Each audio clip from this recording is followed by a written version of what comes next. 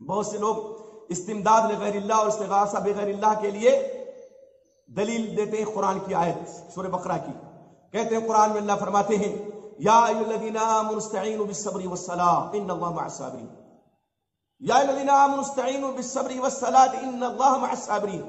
ईमान वालो, कहते हैं, अल्लाह कहते देखो ईमान वालो, सब्र से मदद मांगो सलाह से मदद मांगो, बेशक अल्लाह सब्र करने वालों के साथ है। तो सब्र भी गैरुल्लाह, सलाद भी गैरुल्लाह। तो गैरुल्लाह से मदद मांगना हुआ कि नहीं हुआ इस्तिमदाद है कि नहीं है? हम ऐसी दलील पे यही कहेंगे, आयत है कुरान की। सच्ची आयत है, ज़ाहिर है सूर्य बकरा की आयत है, एक सौ तिरपन नंबर है। लेकिन इस्तेदलाल उससे कैसे बातिल है?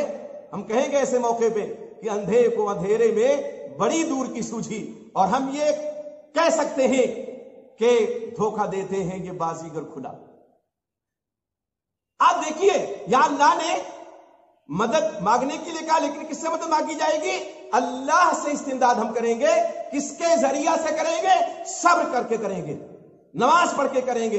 तो सब्र के ज़रिया इस्तेदाद नमाज़ के ज़रिया इस्तेदाद ये नहीं कि हम ये कहें सब्र हमारी मदद कर दे, ऐ नमाज़ हमारी मदद कर दे। ये आवाम को धोखा देने के लिए कुरान की आयात की इस तरह लोग तहरीफ करते हैं कहते हैं, देखो, सब्र से मदद मांगते हो, गैरुल्लाह सब्र।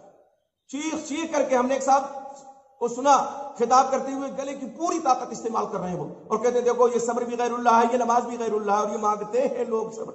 ये आयत पढ़ते हैं और अल्लाह ने कहा है मांगने के लिए दानिश बबायत गिरिस्त। ऐसी अक्ल पे, ऐसी दानिशमंदी को, पे रोने को जी चाहता, रोना चाहता। भाई, हम जब अल्लाह की इबादत करेंगे, सब्र करेंगे सब्र करने के बाद, अल्लाह की इबादत करने के बाद अल्लाह से मदद चाहेंगे तो अल्लाह की मदद आएगी आसमानों से। इसका कथन वो मतलब नहीं है जो धोखा देने वाले लेते हैं।